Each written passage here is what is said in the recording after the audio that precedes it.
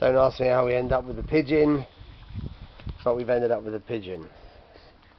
I don't quite know what that's all about, but uh, anyway, abandoned pigeon.